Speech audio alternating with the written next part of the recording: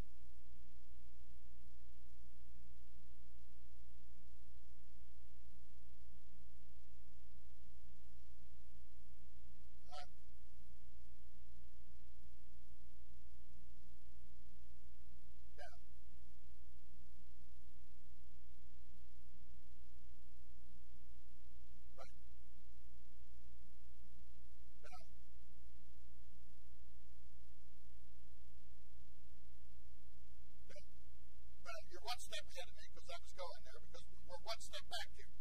Uh, because now we realize that the image that we all have uh, of this was not the picture that was taken of the actual moment. It was, in fact, a reenactment of the moment that happened later. So the question is, is that fraud? Uh, you know, did he lie to us, whoever he or she was that uh, took the picture and so on? Is that a lie? Well, no. Uh, you know, once you get the story behind, say, well, it's not surprising nobody had their camera going at the same time. Uh, but everybody knows that'd be a good picture, and so you, you, you try to get as